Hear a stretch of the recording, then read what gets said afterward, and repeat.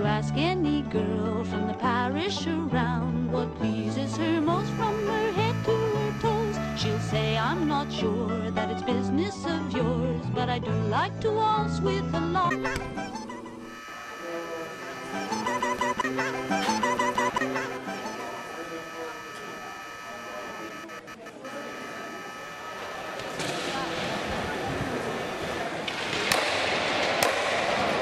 was watching Melrose Place the other day, and I was wondering, why is Carlos with Victoria?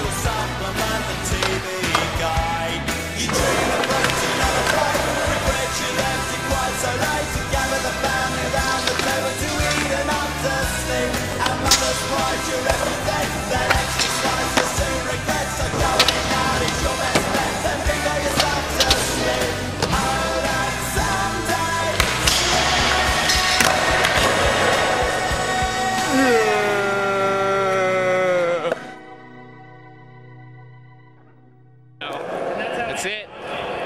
2009. It's a wrap.